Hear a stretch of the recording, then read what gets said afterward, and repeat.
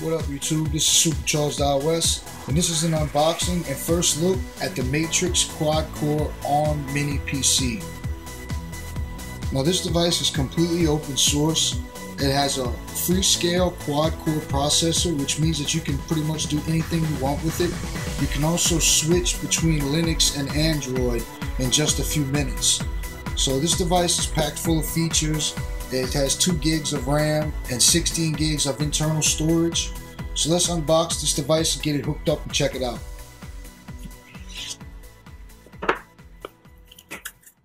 And here it is. I'll hold it real close so you can get a good look at it. See it's got the fan and the ventilation holes on top and bottom to keep it nice and cool while it's working. And right here on this side you have an OTG port for flashing software onto the device, the UART connection, and right here is a mini PCI input and volume up and down buttons. There you go, you can see that. And the power button. On this side is the back. You have the HDMI output, Ethernet port, another USB port, and the power optical audio and standard definition audio. This side you have a standard size SD card slot and two USB 2.0 ports. So you can do a lot with this device. There's a bunch of different connections and a bunch of different ways it can be used. Let's see what else comes in the box.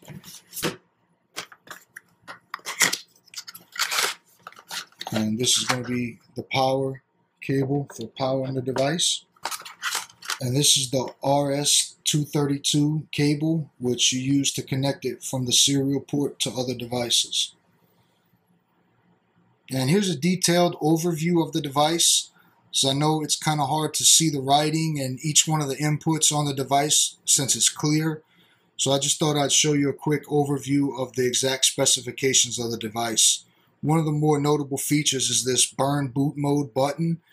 So that's really useful. It switches the mode of the device so a couple of things that you'll definitely need that aren't included are mouse and keyboard combo, and you'll also need an HDMI cable to connect it to your HDTV. To connect the Matrix ARM Mini PC, all you have to do is insert the power cable to the power output and the HDMI cable, which isn't included, into the HDMI output and into your television.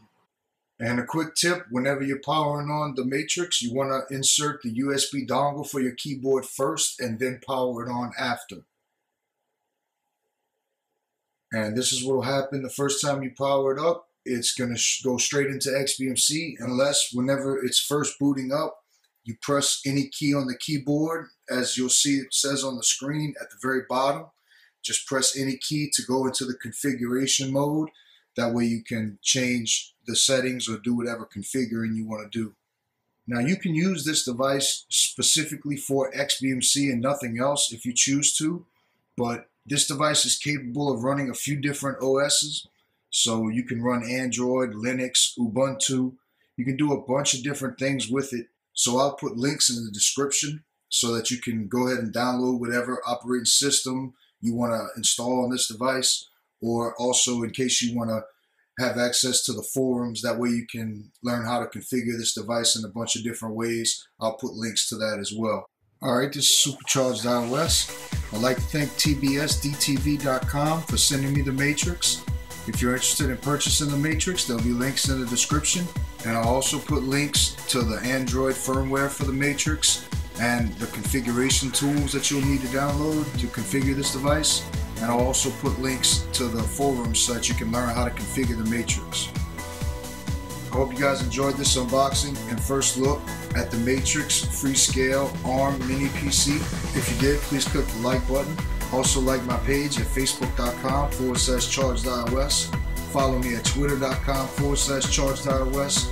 And also check out my new blog at supachargedios.blogspot.com. Thanks for watching. See you guys in the next video. Peace.